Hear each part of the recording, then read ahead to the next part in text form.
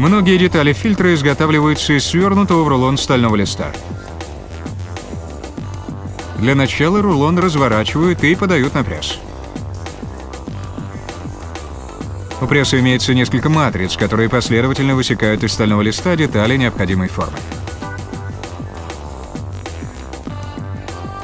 Пресс выпускает пластины, компонент конечной части масляного фильтра, которая непосредственно соприкасается с мотором. Непосредственно после пресса пластины с помощью магнитного конвейера транспортируются в сварочный агрегат. Там роботизированный станок направляет их на крутящийся стол сварочного аппарата.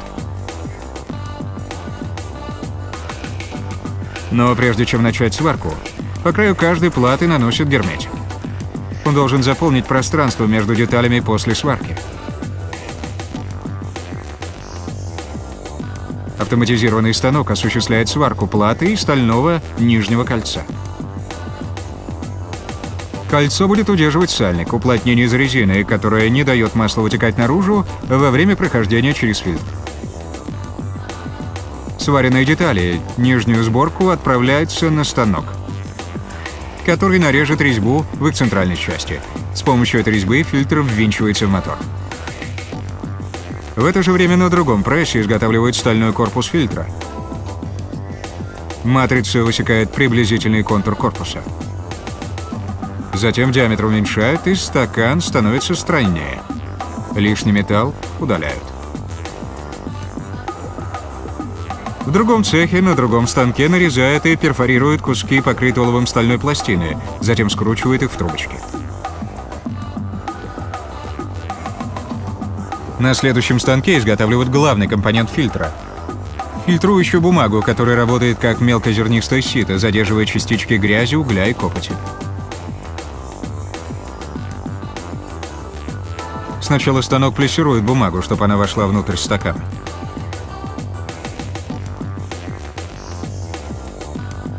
Затем ленту плессированной бумаги нарезают на отрезки необходимой длины, которые затем сворачивают цилиндры, скрепляя концы стальной скрепкой.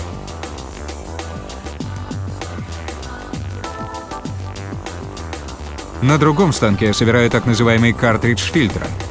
Помещают фильтрующую бумагу поверх трубки. Трубка призвана укрепить бумагу, защитить от потока прокачиваемого через нее масла. На следующем станке приклеивают диск на оба конца фильтрующей бумаги для того, чтобы трубка держалась на месте.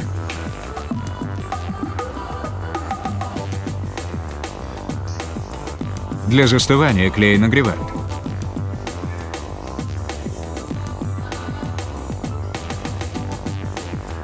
Настало время окончательной сборки. Стаканы переворачиваются, автоматизированный станок вставляет картриджи фильтра.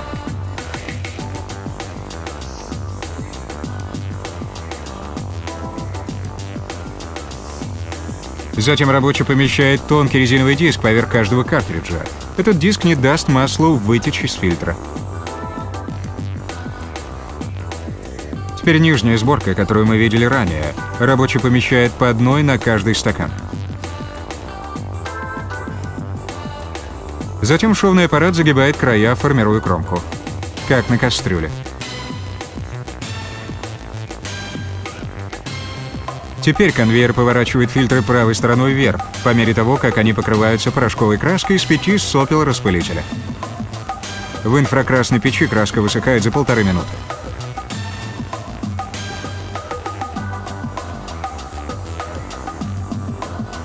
После этого наносится информация о продукте. Конвейер вновь переворачивает фильтры, и они отправляются далее, где в них вставляют сальники.